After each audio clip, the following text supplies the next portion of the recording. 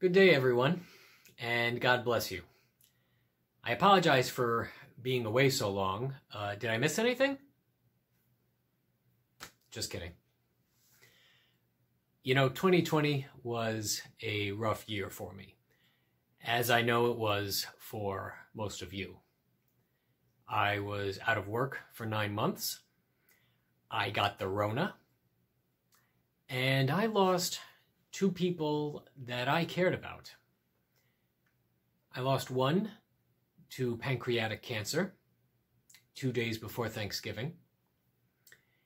And I lost the other to, well, it was either Jesus or Trump. I'm not sure which, but one of them caused him to cut off all communication with me without warning, without explanation, ending a 20 year friendship. And I am sad about that. But there's not much I can do about it except wish him well. But you know, one phrase that has been deleted from my lexicon it can't get any worse. And frankly, I was astounded at how many people kept saying how much they would enjoy New Year's Eve. Getting to say goodbye and good riddance to 2020. They thought that 2021 was going to be so much better. Just because, I don't know, we're using a new calendar now? Well, congratulations, folks. 2021 is here. And everything's all better now. Right? What's really changed? To, to be honest, I don't know that things are going to get better anytime soon. In fact, I think they will get worse before they get better, especially for the church, especially for God's people. Uh, over the last couple of weeks, I have been thinking about how comparatively good people can get caught up in the fallout from other people's sins and bad behaviors. Now, obviously, no one is is good the, the way God is good. Obviously, we are all sinners. God's word is very clear on that. For all have sinned and fallen short of the glory of God. But when the Israelites staked out the promised land, and, and 10 out of the 12 spies said, We, we can't take this land, we're, we're not strong enough. That the people over there, they are like giants. Most of the crowd actually went with them. And they doomed themselves to traveling the desert for the rest of their lives for 40 years. Only Joshua and Caleb had a positive outlook and said, "Yes, we can we can do this. Let's do this." But were Joshua and Caleb the only two people in all of Israel who were willing to go in and take that land? I, I don't know. They're the only two who are mentioned. Maybe there were a handful of citizens who believed that God would deliver on his promises. They're, they're just not mentioned in the Bible. But if there were, they died in the desert just like the rest. Well, how about 40 years later, when Israel finally did take the land, how about the Canaanites and the Hittites and, and the Jebusites and all the other ites that God told Israel to wipe out when they finally did take the land?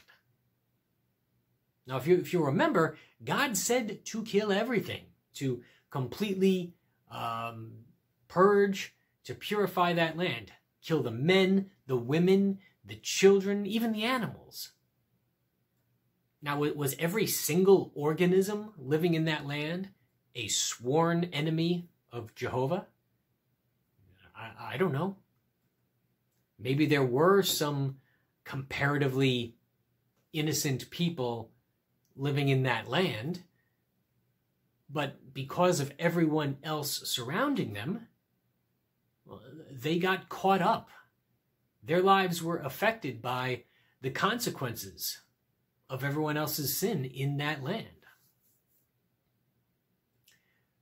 Or how about a couple of centuries later, when Israel had completely turned their back on God, not even wanting a judge, wanting a king because they just wanted to be like everybody else. Does that sound familiar? And then they started engaging in behavior that was even worse than the people God commanded them to wipe out. And then they had to be carried off into captivity to Babylon. Was, was every single Israelite sacrificing their children in the fire? I don't know. There might have been a few who still hadn't succumbed to the spirit of the age. There may still have been a few Israelites who were loyal, who were devoted to God. But they got sent into exile just the same.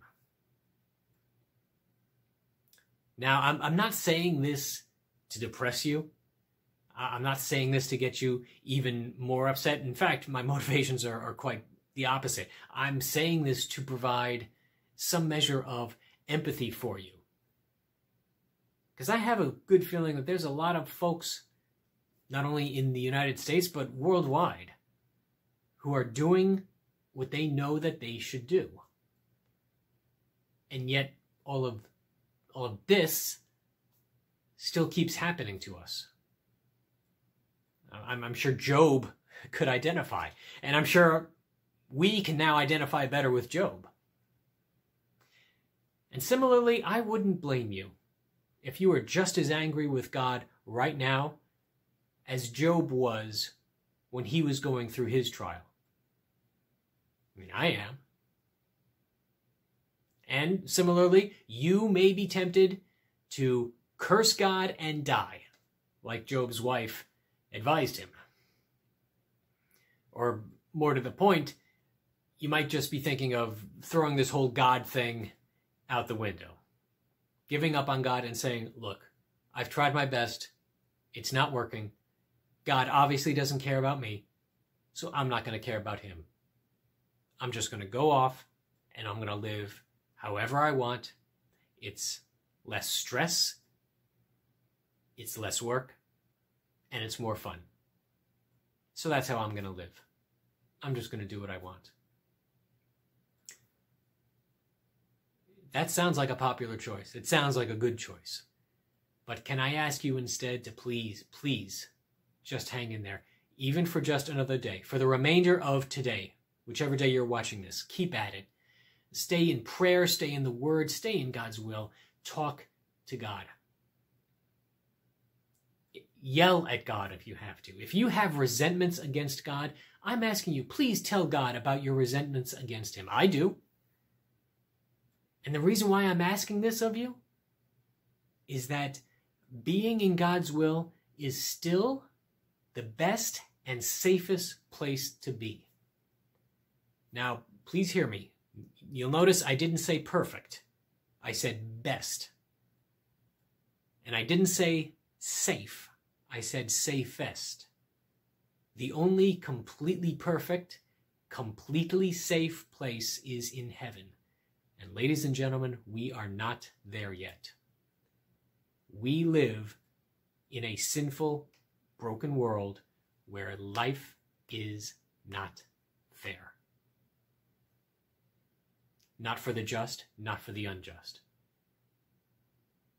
Now, I've never read it, but I am told that the big book of AA, Alcoholics Anonymous, begins with the sentence, Life is difficult. That's page one, paragraph one, sentence one. And that book was written decades ago. Folks, it, it's kind of hard to remember now, but life was difficult in 2019. It got more difficult in 2020. And it pains me to say this, I think it will get worse in 2021 for the just and the unjust. And now is not the time to walk away from God. There really never is a good time to walk away from God, but now especially is the time to lean in, like your very life depends on it, and to get into the scriptures daily. Ladies and gentlemen, please, please hear me. I say this in love. It doesn't matter how bad life gets. When you live apart from God, it can get worse. Either through the natural consequences of our own selfishness and stupidity, or maybe it's God trying to correct us, trying to put up that electric fence saying, don't go that way. You think things are bad now. If you continue to go this way, they are going to get absolutely devastating. Sometimes pain can be a gift. It can be a sign that we're going the wrong way in life. And thankfully, for those of us who are in a relationship with Christ, death is not the worst thing that can happen to us. It is a graduation, it is a 360 degree upgrade of our existence.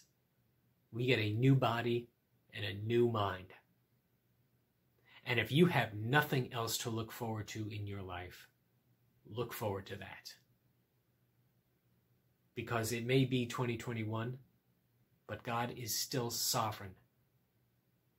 Throughout everything that is happening, as hard as it seems to be to believe, God still loves you, and He is still taking you to heaven when Jesus returns. And all of this will be like a forgotten dream. I thank you all for listening. God bless you.